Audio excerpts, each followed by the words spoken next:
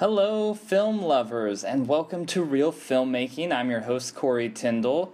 And in today's episode, we're going to get the ball rolling. We're going to give you the basic, fundamental foundations, the how to's, Filmmaking 101. Where do I get started? Part of my desire here on the Reel Filmmaking channel is to give you guys tips and tricks and uh, information that can help you like equip you to go out and make films, you know, with what you have right now. I'm all about budget filmmaking, as you can tell. it's a fun hobby to get into, but a lot of us don't have tons of money just to throw like willy nilly into, uh, you know, making films or just even getting started in this hobby. And so, I, my hope is that this channel can be a resource for you guys like as I journey along with you and learning more about film. I can just give you different ideas, different thought processes, a different perspective on like how to make uh, film, especially when it's uh, very indie and you don't have a lot of money. when people first look into doing any sort of like kind of independent hobbyist level filmmaking, there's always this weird expectation that you have to drop a ton of money to get a good end result. And just in today's world, you know, even outside of the film industry, the gap between technology that the consumer uses and that the professionals use, like that gap has greatly diminished. People ask me, what type of camera should I buy if I'm getting started? Like, you know, what should I pick up? Like, how much money do I need to spend? And honestly, that all comes down to how much money are you willing to spend? And maybe more importantly, how much do you have to spend? When I first started getting into doing filmmaking, a lot of it was just I was using my phone. And I know some of you guys might laugh and you're like, whatever. But I mean, our phones are so powerful, you know, like what they can do in this day and age. It is possible nowadays to go out and shoot high quality footage through an iPhone or through a, you know, an Android phone and get really good results. There's apps that definitely help optimize that. One of them that I will throw up a pick up on the screen is called Filmic Pro. It lets you control things like exposure and focus and different things like that. You can lock and you can set those things and you can tweak them. And that helps a ton in getting the best out of your smartphone's camera. I know some of you guys are to be like, that's super vague. I have a smartphone, whatever. Um, I want to buy an actual camera. And let's talk about that for a little bit because you know I do filmmaking. I have gear lying around. I have a lot of gear right in front of me right now. So this is a Canon 5D Mark III. Very fun and fancy. Very expensive too. The body alone is about $2,500, and then when you tack on buying lenses, that's a couple more hundred dollars. But the video that you're watching right now is actually being shot on a Canon 60D, which is about, uh, you can probably find one used for about four or five hundred bucks. And they're nice cameras. If you're really wanting to get like a DSLR camera or a video camera, I would say just starting out, don't spend more than like 500 bucks try to find them used. There's a lot of people who are always like upgrading their gear. And so, you know, you can go on various different sites and get a pretty good deal on a beginning DSLR, a couple extra lenses, and you'll be good to go. But honestly, part of getting into filmmaking is just choosing your weapon and just getting out there and actually filming. The next most important thing, arguably, is a computer to edit videos on and you know along with that software to edit these videos on. Most of the world either has a mac or a pc um, i have both and both serve me well for video editing. I primarily use the mac but i've used the pc for other different video projects. You know there's tons of expensive software that you can buy. You know you can buy like final cut pro or adobe premiere a really great free option that like kind of just recently showed up in the last year or two is HitFilm Express. There's a full version that you can purchase, but the Express version does a ton of the stuff that you would need just for basic movie making and just learning like the workflow of a system. Uh, it's free to download. I'll put a link in the description. You know, with that setup, most basic computers nowadays can run this software, can run video editing software. There's really no excuse when people are like, oh, I can't get started because I don't have the resources. Well, a lot of them are just kind of at your fingertips and you can go find them for free. Like I said, HitFilm is a really great option. That's the route that I would go. Camera, computer, what is the next most important thing when we're making movies? That is probably sound. Sound is a sound is a funny one because it's not necessarily what we first think of when we think of movie making. You know, we're like, hey, it's making movies. It's a camera. That's the most important thing.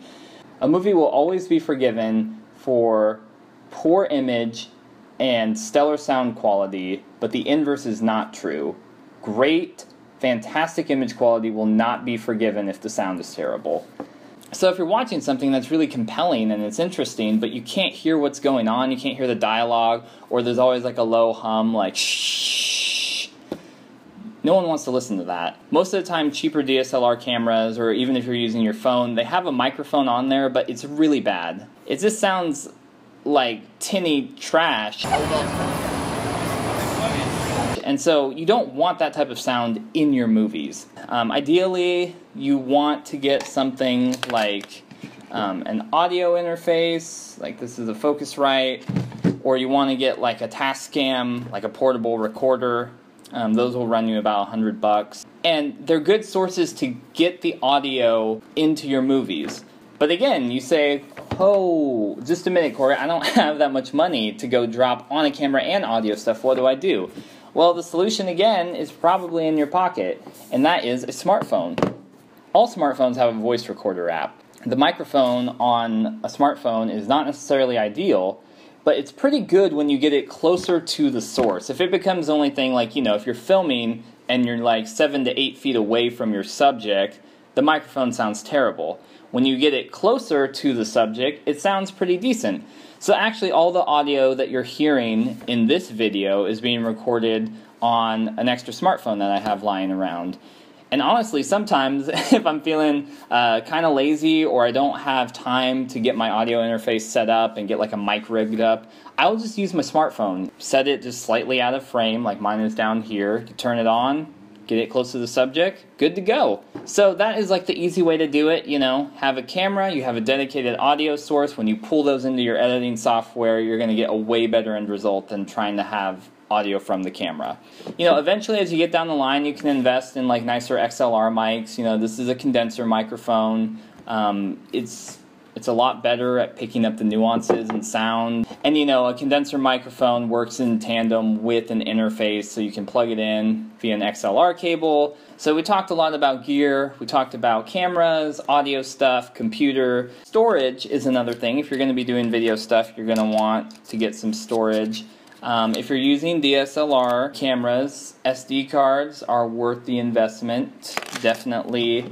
Probably want to buy an extra hard drive. Hard drives are pretty dirt cheap. I think you can buy like a terabyte hard drive for like 60 bucks. Sometimes you can find even better deal. But definitely you want to have extra storage because if you're shooting in HD, which you should be, and if you happen to be shooting in 4K, the video gets very big very quickly. So you definitely want to do that. Another basic thing that you're going to want to have, I have my little baby one here that's honestly not that good, is a tripod. You're going to want a tripod for shooting. You don't want shaky video, um, you know, unless that's something you're going for, but that's a whole different thing. But generally, you want to stabilize your camera and have a solid, smooth image the whole time, which helps with the uh, viewing experience for everybody. Tripods are pretty cheap. You can find a decent one for like 30, 40 bucks. And then probably the last thing uh, when you're first getting into filmmaking is have some place where you can collect all your thoughts and notes and stuff. As I've found out getting into filmmaking, there's a lot of different pieces that go into actually shooting something, whether that's like a narrative film or uh, you know, an interview or whatever. There's lots of details the audio, the lighting, the how you set up the shot, the content, all, all this different stuff. And as you'll find as you get into filmmaking, as you go out to shoot stuff, it's like it's hard to remember that stuff on the fly. There's a lot of stuff going on through your mind, and you're just trying to remember one thing to the next. And so, having a list, having all of your focused thoughts someplace in one place, like in a book like this, is super helpful.